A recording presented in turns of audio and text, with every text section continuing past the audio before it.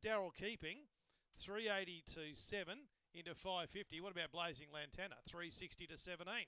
First of 11, fine and good. One is favourite. Away, Sinisha slowly away at the start. Daryl Keeping is the kennel mate. It's going to lead up early from down the outside. Mrs. Musgrave punching up underneath them was Frame Game, but it starts to drift back through the field now.